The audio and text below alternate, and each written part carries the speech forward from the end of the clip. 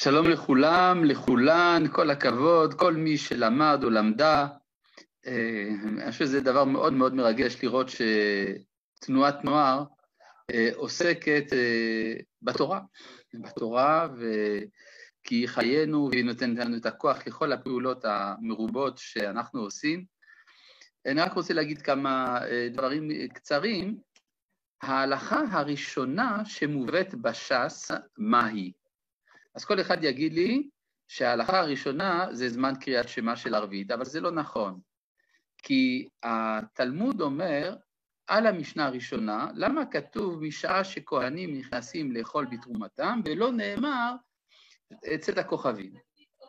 אז התלמוד אומר, מילתא אגב אורחא כמשמע לן, בא ללמד אותנו משהו בדרך אגב, ש... הזמן שכהנים נכנסים לאכול בתרומתם, זה צאת הכוכבים.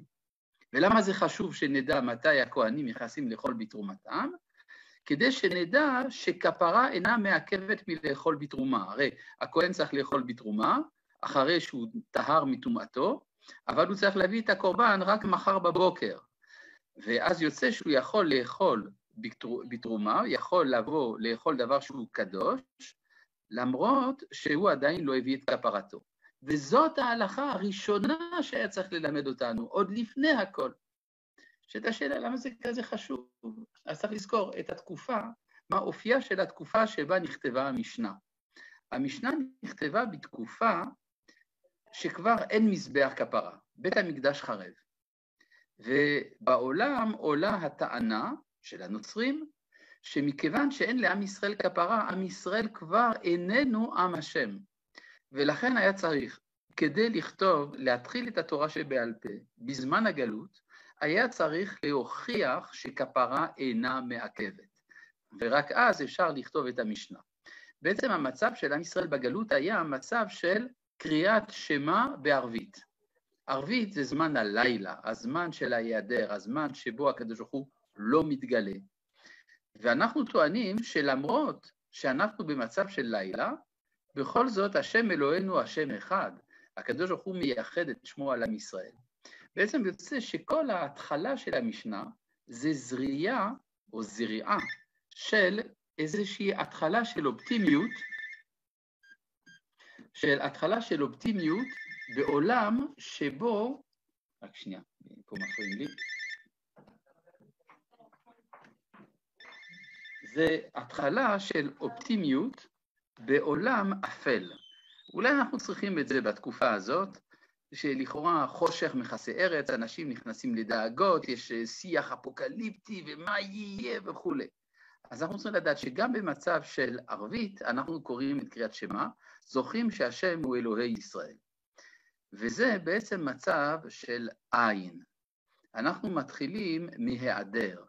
הזמן של הלילה זה זמן שבו האדם לכאורה מרגיש את אפסותו, ואיך הוא מסיים את כל המהלך הגדול של תורה שבעל פה, להנחיל אוהבי יש. כלומר, המטרה איננה להתמכר לעין, להיעדר, המטרה היא לבנות את החיים, למלא אותם בישות. ואפשר לומר שזה הלימוד הגדול של המשנה כולה. כדי להבין את כוונת התורה, צריך לקרוא את התורה מתחילתה ועד סופה, מההתחלה של היעדר לסיום שכולו מלא ישות. נראה לי גם שזה תפקידה של תנועת נוער. את, אה, הנוער באופן טבעי הוא אופטימי יותר, כל החיים לפניו. וזה בדיוק מה שהחברה שלנו זקוקה לו היום. אנחנו צריכים איזושהי זריקת מרץ של אופטימיות, של חיי נעורים תוססים, שיודעים להפוך את החושך לאור ואת הערבית, את קריאת שמע של ערבית, לעולם מלא בשלוש מאות ועשר עולמות.